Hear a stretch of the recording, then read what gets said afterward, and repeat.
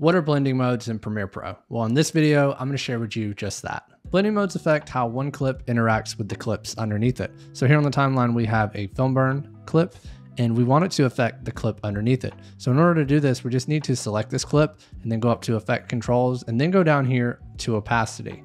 And under opacity here, we see blending mode. And if we drop down this little drop down here, we see a number of different options to choose from. And that's because these different blending modes are separated into different categories. And all these blending modes are gonna give the clips a different look. The first category that we have here is the normal category. And this is really just going to affect the transparency of your clip. It just gives it kind of a different look. So if we leave it at normal, you'll just get your normal opacity adjustment. But if we change this to dissolve, it starts to make certain pixels transparent. And honestly, I haven't ever really even used dissolve. This next category is the subtractive blend modes. And these blend modes are typically going to darken your clips by keeping the darker areas of the top clip and preserving the lighter areas of the bottom clip. The next category is the additive category. And this is going to make your clips brighter. It's going to keep the lighter portions of the top clip and preserve the darker portions of the bottom clip. The next category is the complex category. And the reason it's called complex is because it is so unique in the way that it affects the different colors.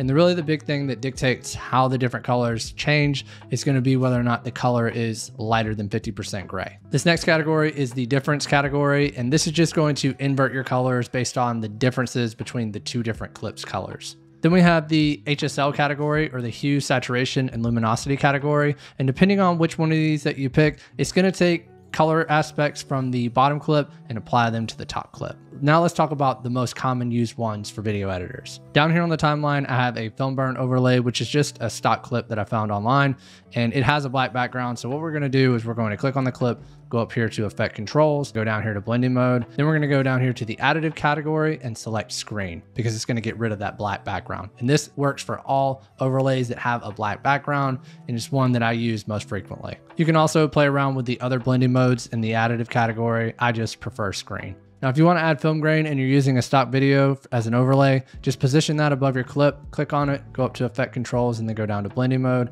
And I like to use the complex category here. Typically, I'll just use overlay, but I'll play around with the different options, and that looks pretty good for me.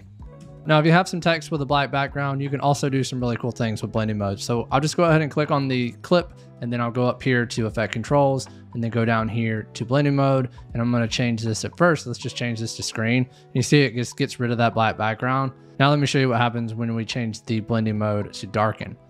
Now you get this cool see-through text effect, which is like super quick and simple to make. Blending modes offer so many ways to be creative in your videos. And if you wanna learn even more ways that you can be creative in your content, check out this video next and I'll see you in the next one.